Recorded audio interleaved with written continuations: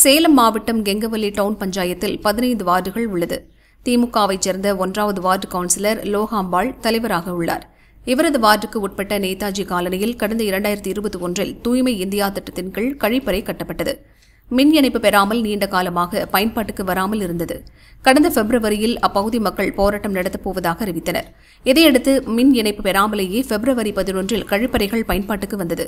அருகே இருந்த மின்கம்பத்தில் கொக்கி போட்டு முறைகேடாக கழிப்பறைக்கு மின் இணைப்பு கொடுத்தது கெங்கவல்லி பஞ்சாயத்து நிர்வாகம். பஞ்சாயத்து தலைவரின் வார்டு என்பதால் இதுகுறித்து மின் ஊழியர்களுக்கு தெரிந்தும் நடவடிக்கை எடுக்கவில்லை. சமீபத்தில் ஆய்வு நடத்திய அதிகாரிகள் பஞ்சாயத்து நிர்வாகமே மின் திருட்டில் ஈடுபட்டதை கண்டுபிடித்தனர். மின்கம்பத்திலிருந்து கொக்கி போடப்பட்டு கழிவறைக்கு எடுத்துச் செல்லப்பட்ட வயர்களை துண்டித்தனர். பொது கழிப்பறைக்கு இதுவரை மின் இணைப்பு வாங்க பஞ்சாயத்து சார்பில் நடவடிக்கை எடுக்கப்படவில்லை என மின்வாரி அதிகாரிகள் கூறினர். மின் கம்பத்தில் வயர் மாட்டிவிட்டு வேப்பமரம் வழியாக இழுத்து வந்து ஒன் ஹெச்பி மின்திறன் கொண்ட மின் மோட்டாரை இயக்கி வந்துள்ளனர்.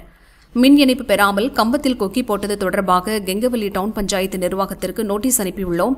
ஆறு மாத மின் கட்டணம் அபராதத்துடன் சேர்த்து பனிரெண்டாயிரத்து நானூற்று இருபது ரூபாய் வசூலிக்க முடிவு செய்யப்பட்டுள்ளது என அதிகாரிகள் கூறினர். இதுகுறித்து கெங்கவல்லி டவுன் பஞ்சாயத்து செயல் அலுவலர் ஜனார்த்தனிடம் விளக்கம் கேட்கப்பட்டது. நான் பணிக்கு வந்து இரு மாதங்கள் ஆகிறது. மின் வயர் துண்டிக்கப்பட்ட தகவல் கிடைத்த பின் மின் இணைப்புக்கு ஆன்லைனில் விண்ணப்பித்துள்ளோம். டவுன் பஞ்சாயத்து நிர்வாகம் மீது அபராதம் விதிக்கப்பட்டது எனக்கு தெரியவில்லை என கூறினார்.